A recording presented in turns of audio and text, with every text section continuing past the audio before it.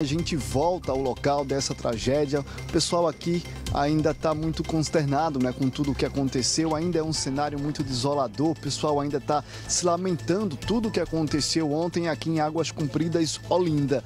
Vou mostrar para vocês mais ou menos o cenário que a gente observa aqui, tá? Ali onde duas casas foram totalmente destruídas ontem, por volta das 7h40 da manhã de ontem. Foi muita chuva, a gente registrou isso aqui no balanço geral amanhã.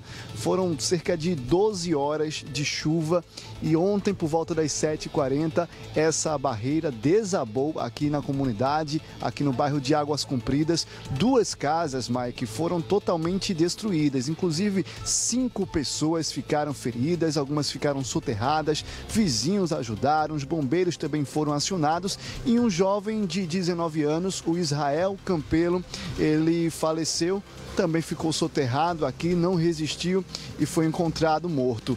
A gente volta ao local porque a comunidade continua cobrando um posicionamento né, dos órgãos competentes, porque você observa, Mike, todo esse local, você observa ali a barreira né, bastante encharcada, hoje não está chovendo, o dia amanheceu com sol, não tem essa previsão né, para esse momento daquela chuva forte que a gente registrou ontem, mas você observa o local muito encharcado ainda, a barreira muito encharcada. É uma região de morro, tem várias outras residências aqui por perto, muita gente ainda morando em toda essa localidade, chorando também a perda do Israel, bastante conhecido aqui na região.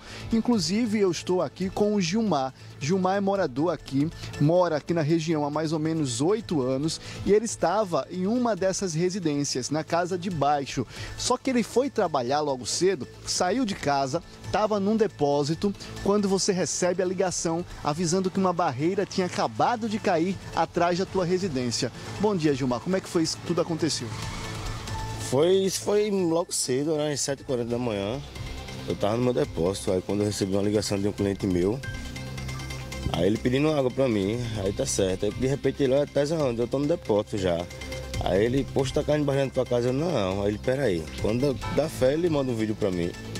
Eu, isso é minha casa. Quando eu venho correndo, quando eu entro aqui, quando eu chego na esquina aqui, eu vejo o desastre por pouco você não estava na residência. Eu vou até pedir para que Jackson tente mostrar ali para gente, Jackson, essa casa branca que fica aqui de frente. Assim na imagem a gente nem percebe de fato é, o tamanho da destruição aí nessa casa. Mas o Gilmar estava falando para gente que a barreira caiu, né?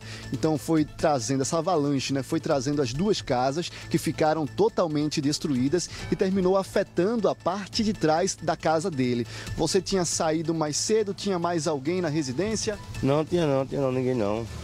Eu não tinha dormido aí não, eu tinha dormido no depósito, porque lá é como se fosse um barzinho também. Aí, por horário que eu saí, terminei tarde lá ontem, era uma e pouca da manhã, eu vou ficar por aqui mesmo. De vez em quando eu durmo lá. Aí foi o. Quando eu vejo de manhã só a notícia. E aí veio aquele desespero, né? Quando você viu a questão da barreira caindo, atingindo a tua casa, você voltou correndo aqui para tentar salvar alguma coisa. Eu voltei, eu voltei. Quando eu voltei já tinha, tinha dois vizinhos meus já para ajudar lá. Depois foi chegando mais gente, mais gente. Quando dá fé a população eu estava ajudando. Até ele, inclusive, também estava lá. Muita, muita gente mesmo. E hoje vocês ainda bastante consternados, né? Também lamentam aí a morte do Israel, querido aqui na região, conhecido também. Estava morando há pouco tempo aqui na casa. Era um menino bom, conhecia ele também. Acho que a mãe, inclusive, ficou pensando até que era eu, porque ficou ah, o neguinho da água, o neguinho da água. Porque eu também tenho um depósito de água e gás ali. Aí é o neguinho da água, o neguinho da água, mas graças a Deus não, fui eu não. Infelizmente foi meu amigo, meu parceiro de trabalho. Eu conhecia ele, trabalhava também na água, com um amigo meu ali no caminhão. Infelizmente foi o que aconteceu. Agora, Gilmar, a gente observa aqui um pouquinho né, da região, da localidade, muita gente ainda morando aqui na região. E aí era um pedido antigo também, né, de vocês que algo fosse feito. É um local que tem um histórico já de queda de barreira. É, do, é, 2021 houve um deslizamento aqui, também houve outro em 2016. Então fica de certa forma esse apelo, né? Ninguém aqui fez nada. Vira para frente aqui um pouquinho. Ninguém fez nada praticamente por aqui. Faz tempo que não só promessa, promessa vai fazer, vai fazer não sei o quê e até agora nada. Aí depois que acontece é que vão querer tomar uma providência. Você estava me contando que ontem uma equipe da prefeitura até chegou a conversar com tua família. Chegou, pegou um número de nós, pegou o número, telefone, tudinho, dizendo que ia entrar em contato. Vamos esperar ver o que dá. Até agora, de fato, nenhuma ajuda chegou nesse primeiro momento. Você está morando onde? Passou a noite onde? Onde? Porque a casa realmente não tem condições. Não tem condição nenhuma não, arrumou tudinho atrás. Eu tava na casa da minha mãe, na casa da minha mãe, essa noite. E vou ver o que eu faço.